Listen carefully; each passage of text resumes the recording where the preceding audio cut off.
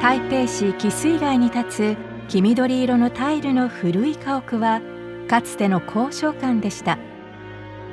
文化財として保存されたこの文房楼は少し違う視点から台北の歴史を語ってくれます。19世紀中期淡水港が開港すると商業の中心地が変わってゆき当時すでに存在していた師匠らも拠点をバンカから大東邸に移していきました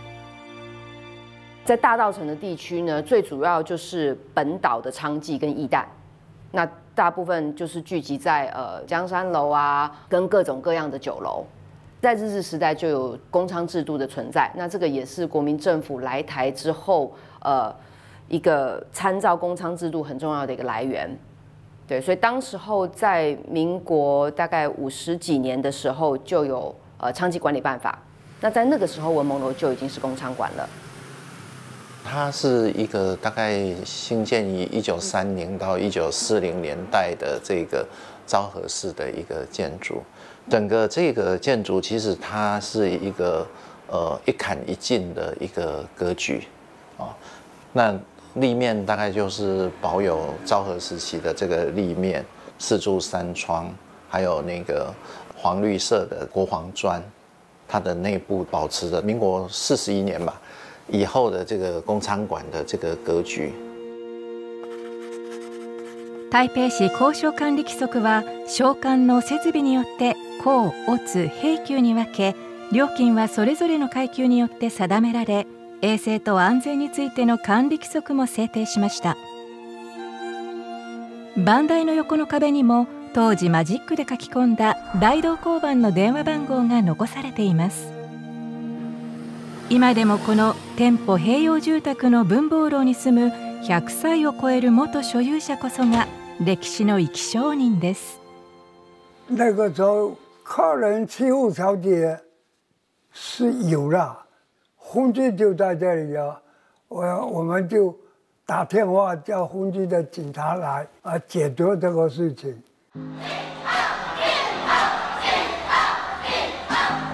1997年台北市が交渉制度の廃止を決定し交渉らの反対運動が巻き起こりました我觉得一九九七年的工商抗争到后来，呃，工商自己成立了日日春关怀互助协会。 我觉得那个动作和那些年做的抗议活动，就是在对这件事情进行不断的诉求，不断的诉求，希望法令可以变化。反対運動は社会の注目を集めましたがとうとう廃止猶予期限の2001年3月28日を迎えました文房楼の土地の所有者は台湾銀行でしたが 建物は個人の所有物だったため廃止後の文房楼は今度は都市再開発と文化財保存の問題に巻き込まれていきました文房楼は日日春協会の努力で2006年に市の文化財に指定されました。文门楼的被指定为市定古迹啊，它基于三个理由。第一个理由，它是代表在当年代的一个建筑一个特色。其次呢，我们古迹不一定说是建筑物，而它的这个历史或者它在这个整个社会的一个发展过程，这也是一个无形的文化资产。